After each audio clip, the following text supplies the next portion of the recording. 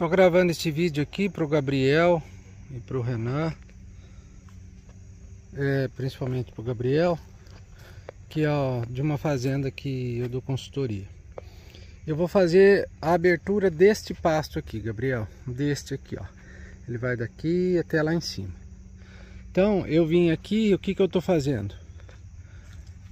Como esta faixa toda aqui, que o gado não vai ficar mais, ela será desligada aqui por cima, tá? Mas isso é uma questão que você não precisa se preocupar, que é uma questão depois para conversar aí na fazenda. Eu vou ligar, então o que que eu fiz? O choque vem por aqui, tá? Ó. Tá vendo? E eu vou ligar esta mola aqui, aqui. Esta mola tá ligada na de baixo, tá? E vai ficar essa porteira de duas molas. Aqui agora, o que que eu fiz? Eu fiz esta ligação daqui para este fio. Limpei embaixo, tá? Este é o item próximo pasto, tá? Limpei embaixo. Fiz a a ligação aqui desta porteira da barragem aqui. Essa ligação aqui. Tava sem esta peça aqui. Eu tenho no arreio ali, tá? Como nós vimos ontem. Rosqueei, tava sem porque deve ter caído, algum bicho passou, boi, cavalo, alguma coisa. Religuei e daqui segue este fio de choque reforçando a cerca aqui da barragem, tá? Então agora ligado, eu vou engatar aquelas duas molas ali e vou ver se o choque, como que ele tá, se ele tá com roubo, não tá, o roubo é muito grande, ou se ele consegue segurar com boa, com bom choque. Ó, tá ligado. Vamos testar. Tá ótimo, né? Vamos ver se está funcionando passar para debaixo. Mesma coisa. Vamos testar para cá. Se está funcionando aqui. Mesma coisa. Se eu, aqui em cima tá desligado para lá. Ó. Esse 03 é só da proximidade, tá? Disso daqui, ó. Não é do do arame. Se eu quiser ligar para lá, o que, que eu faço? Eu pego esta peça aqui e ligo junto ali, tá? Mas eu não quero ligar para lá agora, para que não fique roubando choque. Eu quero uma atenção especial ali. O que que eu tenho aqui, nesta porteira aqui, caso as duas molas não funcionem, eu tenho uma outra porteira, ó. Tá vendo, ó? Um pauzinho aqui, outro aqui. Ela tá encostada ali. Eu tenho uma outra porteira de arame para colocar aqui, tá? Eu já tenho ela pronta. É só eu colocar. Então, é importante, por exemplo, naquele lugar da grelha, naquele corredor, tá? Não custa nada rapidinho fazer uma porteira dessa em lugares que você acha que precise, tá? Para poder deixar. O mato é todo cercado, tudo. Então eu uso duas molas. Se eu precisar, se eu achar que preciso, eu mudo. Eu ponho a porteira que leva o choque também, tá? Mas ela daí já é uma porteira tradicional. Ela está encostada na cerca ali. Tá joia? Então, os, os aparelhos e as coisas trouxe todos aqui no cavalo. Usei o facão para limpar de baixo tá? Não preciso ficar limpando enquanto não estou usando. Tá certo? Aí o facão aqui. Então agora tá tudo certo. Eu vou lá, vou abrir para o gado, vou contar o gado e vou mostrar como que vai ser o procedimento. Ó, Gabriel, outra coisa, ó. Este é o próximo passo, tá? Esse que tá ali. Próximo daqui uns 10 dias, tá? Então, ó, ele tá crescendo bem. Não é tudo isso que você está vendo aqui, é dividido, dividido pela metade, que não dá para ver a cerca de divisão. mas ele está crescendo bem. Então já é um manejo que foi feito pensando nisso, tá? Agora eu vou mostrar outra coisa aqui.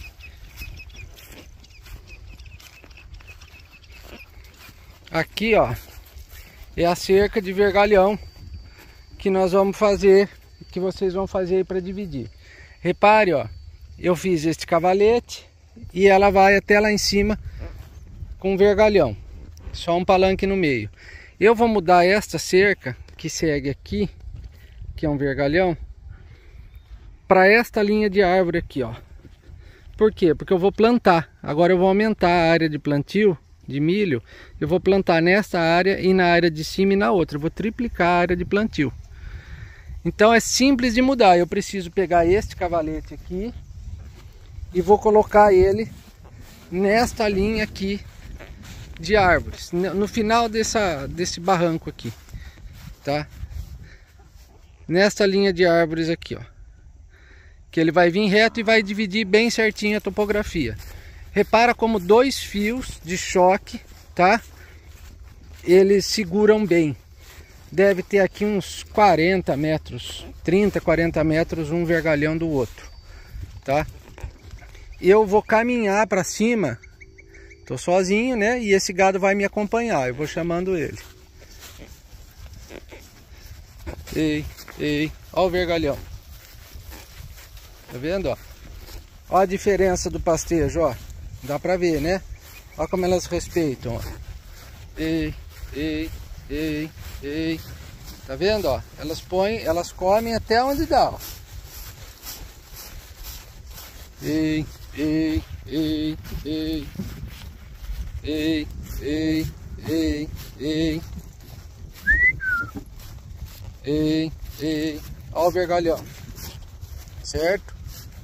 Qual é a manutenção que eu tenho que fazer nisso? Vim aqui olhar, ver se tá roubando choque né? Como a gente fez ontem aí com o aparelho. Ó um cipó subindo no vergalhão. Se ele partir pro, se ele passar pro, pro arame, eu tenho que cortar ele, né? Olha uma situação aqui do vergalhão. Ei, ei. Ó, quebrou a parte de baixo ali, ó. Quebrou uma emenda, tá vendo? Ó, um. Quebrou esse daqui. Eu tinha, sempre tenho no bolso da baldrana. Coloquei o de cima para baixo e coloquei outro aqui. Por isso que eles estão com três. Como a cerca está esticada, eu nem tirei o fio. Aqui aconteceu a mesma coisa. Ei, ei, ei, ei. Olha a diferença do pastejo. Tá vendo? Ó? Por isso que tem três. Acontece de quebrar, não tem problema nenhum. Na, na curva eu coloquei um palanque, tá? E foi o suficiente. É um palanque fundo, tá? Grosso, fundo que aguenta fazer essa curva. E o arame de choque ele não é para ser esticado que nem o arame de cerca paraguaia tá? Porque ele segura pelo choque. Ele não segura pela tensão. Então ó esta cerca vai correr reta aqui agora ó, mais para frente tá? Deste palanque vai seguir reta lá. Ei ei ei ei ó aqui você vai reparar que está mais perto uma um vergalhão do outro. Esses três aqui. Por quê? Porque ali é uma baixada. É a questão que eu estava falando ontem da cerca na curva de nível. Então, como ali é uma baixada, eu precisei colocar mais um para que o arame acompanhe. Aqui ele passa na própria árvore. Ei, ei, ei, ei. E ele segue essa linha. Agora, Tá vendo? Ó, esse terreno aqui é inteirinho acidentado e tem muito pasto, fica muita água guardada e tem muito pasto. Então, esse gado vai comer aqui e eu vou plantar no de cima, no verão, né? Tá, a roça de milho tá lá, ela tem 3 hectares, eu vou partir para 9 hectares de milho. Então eu vou plantar milho e boi no, no verão e colher milho e boi no inverno. Primeiro o milho, depois o boi. Tá basicamente isso. Essa, esse gado todo, a cabeceira vai sair, vai chegar um fundo novo e elas vão de 200 a 400 quilos aqui em casa, mais ou menos isso, tá? E isso tem que acontecer em um ano, no máximo, tá? Que é o período que eu tenho de recria nos espaços apertados e engorda no semi-confinamento na, na tiguera do milho, tá? E a recria, a minha recria é com o Master, que é o mesmo produto que vocês estão usando aí, o Master 500. Tá jóia? Ó. Agora eu vou arrumar isso daqui. O que que eu faço aqui? Elas bebem água naquele coxo ali, tá? Eu vou parar e iniciar outro vídeo. Elas bebem água naquele coxo ali, tá? Coxo de sal delas não é esse, é lá no confinamento que é grande. Então eu ponho esta, este choque para cima e este lado aqui bem para cima na árvore tá? Para que elas passem de baixo. Primeiro, agora o que eu vou fazer é abrir e deixar elas passarem, para eu poder contar certinho, tá? Depois eu vou fazer isso aí e mostro para você. Ó, então agora eu vou deixar elas passarem, tá? Posiciono o cavalo, deixo passar e vou contando e controlando para que não se espante muito.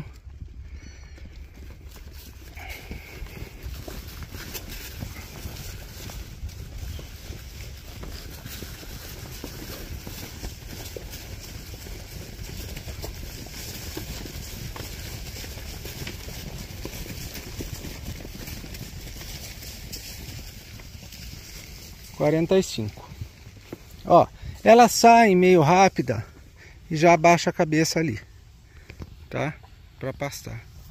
Mas é importante elas passarem assim, desse jeito, para eu poder contar, tá bom? Você pega um pouquinho de prática para contar e também se quiser só conferir no filme, né? Então é legal também usar o celular para isso tá? Até porque depois você está parado na hora do almoço, em algum horário, você quer dar uma conferida se aquela vaca, aquela coisa estava assim, estava assado, tá, aquela, é, aquele machucado sarou ou não. Você confere pelo filme, ó. Pararam aqui, ó. O comportamento do gado na mudança de pasto é sempre esse. Ele sai e para. Tá? Por isso as vacas de cria e as novilhas você precisa estar muito atento, tá? Porque ela sai e daí você logo você tenta diminuir a velocidade dela saindo o aguil é mais devagar um pouquinho mais manso mas daí você vai olhando com calma para ver se não faltou bezerro e tudo isso que nem aconteceu ontem. Aqui aconteceu que você viu voltou buscou tudo certinho tá? Esse é o manejo tá? Então ó vai seguir aqui a cerca ó e vai plantar toda esta área aqui. E esta também, e a de trás vai continuar também. Então, você vê que eu estou treinando com vocês aí exatamente o que eu faço já há 20 e poucos anos. Ó, eu mudei o lado de lá, já vou mostrar para você e agora eu ligo aqui. Tá ligado o choque, ele liga para debaixo que segue lá e segue no mato a cerca. E agora aqui, ó, você passa embaixo, tanto quanto a cavalo, quanto o gado, tá? Liga aqui e segue embora para lá, tá? Precisar limpar, você limpa, se estiver roubando, tá bom? Então aqui ficou com dois metros e alguma coisa. Só tirei daqui, coloquei ali, tá? É facinho de fazer. Aí, ó. Então, o que que acontece? O que que é uma coisa legal de eu mostrar para você aqui? Este pasto ainda tem um pouco de capim.